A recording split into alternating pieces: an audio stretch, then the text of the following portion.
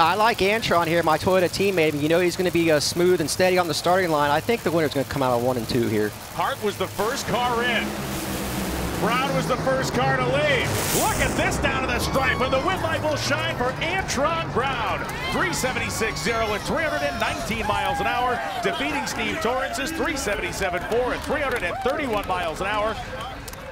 Antron, you've been screaming, you've been dancing. Your Toyota teammate, J.R. Todd, in the booth just said that the rest of this field should fear you if these win lights keep turning on. How true is that statement? We just got to keep working. We got to keep working. Amanda, you know, all the glory goes to God. We've been working hard, never stopped the faith, and we've been working on some new programs. And it's working out, and it's working out. Brian Corradi, Mark Oswald, Brad Mason, Alden Matco, Lucas Oil, Hank First Oil, Sirius XM, FVP coming on board, FDC Coffee. All these people came in and they believed in us. And uh, to get in the winner circle for all of our Matco distributors and the Matco, we love them. But you know what? My wife's at home recovering from surgery. I love you, baby. And Ariana on the cruise ship, keep cruising. Come and see you, baby girl. And my boys at home and all of our families. We love this. And Toyota, thank you for that map because they told us the track was better, give a little bit more. She still cut off on the big end, but we were surging. And when that light came on, I was like, whoa! Thank you, God. What a day.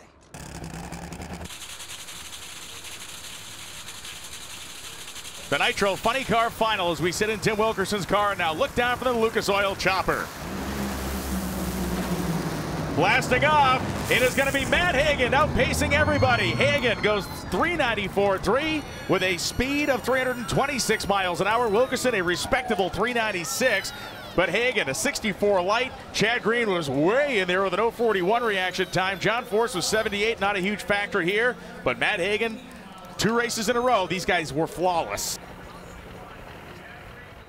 Hope Dickie Venables is still listening at the starting line because all Matt Hagan can talk to up here is what a race car he had today. Dickie said that you drove your butt off today. You told us earlier this morning that winning this much and having success at an early seasons allows you to relax. But you also said you have to stay humble to these race cars. What did your funny car teach you today? Well, I had all the pressure because Tony just won and he come over and he's like, you better win this one so we could double up. So, you know, no pressure, right? But uh, I can't just say enough about this Haas Automation car, but my team, my guys, I mean, they put a hell of a race car underneath me, and it's just it's so much fun to drive. I just I'm really having the time of my life, and it's just it's awesome. I mean, it's just the adrenaline, the wind lights coming on, uh, these lanes and four wide. I mean, it's crazy, but uh, we got it done in Vegas, and uh, I'm not going to get drunk tonight because I got a test tomorrow, but I'm gonna make sure Tony Stewart gets drunk tonight. Deric Kramer lane three, Cristian Cuadra lane four. Cuadra seeking a first career victory. He made the final here at the four wide, losing to Erica Enders last year.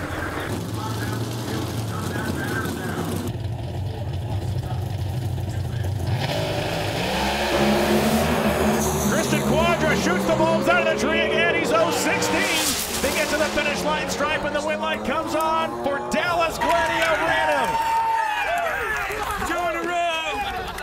Brian Lohnes just said you were the championship leader in this class, and you knew the talent that was around you, including Cristian Cuadra, who's just been deadly on the tree all day. You've stuck in lane one. How did you set your mindset ahead of this race? Oh, just going into this one, I just knew I had just had to hit all my shifts. And you know, I've got an awesome car right here, the KB Titan Rad Torque Systems Summit uh, Silver State. Uh, this car is bad to the bone right here. I mean, you can't you can't get any better than this. I really like to thank my wife. You know, she's uh, she almost you know she's been in Vegas too long. I think the the sinuses are getting to her a little bit. She's been a little under the weather, but you know what? She stuck through there. Oh, I love you know my whole family's here. Everybody's here. Um, but you know we've had a lot of loss in racing uh, lately between you know Jerry Bickel and then uh, uh, what or Greg's son's basically fiance. Her mom passed away on Monday, so this one's for you, Tamara. Then uh, you're racing with us, Tina. He's like ready, right? Let's get after this. They're in. Four across the top. Light the four bottom bulbs. There's one. There's two. There's three. There's four. There's a green light start. Watch the scoreboards, and guess what? Tony Stewart is an NHRA national event winner. He goes 532 and wins it. Last year, he lost by two ten thousandths of a second. This year, he won. In lane number four, Brian Haug, his wife, is down there, as well as his son. who is a racer in his own right. Four pretty good race cars coming at you right here. One of them gets to go home, the Las Vegas four wide Nationals winner. We'll rev them up, we'll roll them in, and we'll turn them loose. Red light start, Jake Guadagnolo, he's out of here. And the other three, boom for Brian, win light for Gordon. Doug Gordon goes 5.50, 266 miles an hour, and wins it. Ulf Leanders goes 5.53, and he will be scored the runner up. Jake Guadagnolo let go too soon by two hun. He red lit away.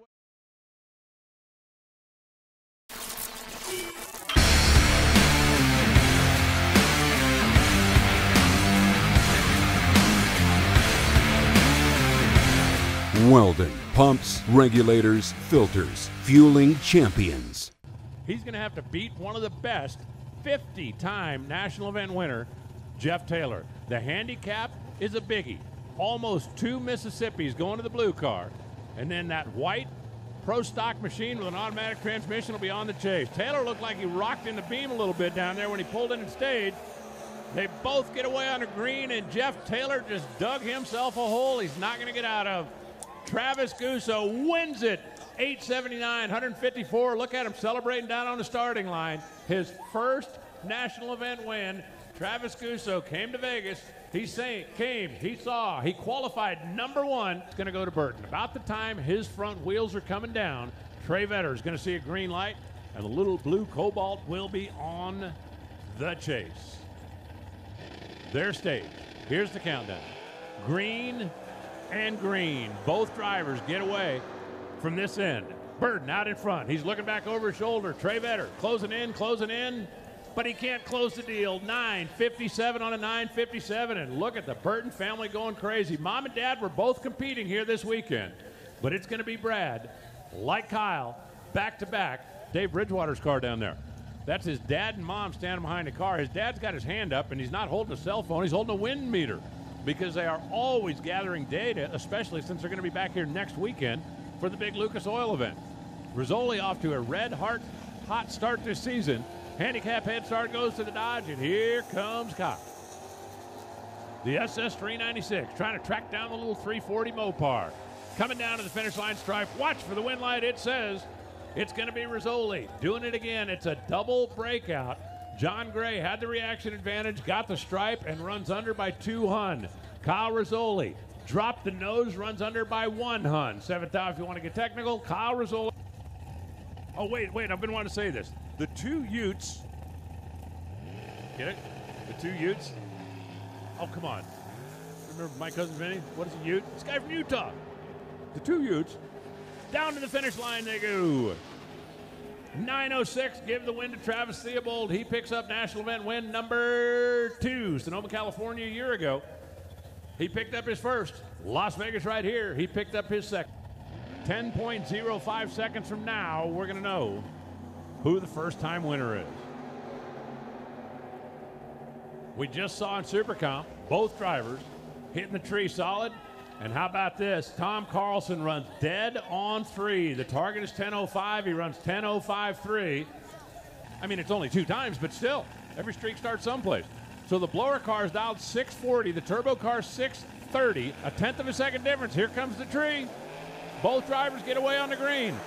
The twin turbo small block trying to close in, the blower and big block trying to hold on. It's going to be three 4 3. Mike McBrayer remains undefeated in final round competition. He goes 641, 212 miles an hour. Dan Nail. Be sure to subscribe to our YouTube channel for the latest in drag racing content and some awesome old school races. Make sure you check out the Competition Plus Power Hour with the Monday morning racer Lee Craft and Slammin' Sammy Smith every Tuesday at 9 p.m. Eastern Standard Time on our YouTube, Facebook, and Twitter channels. It's easy to stay in the know. Download the CompetitionPlus.com mobile app. Sign up for push notifications to get notified of breaking news and the latest feature stories and videos. It's a free download at the iTunes Store and Google Play.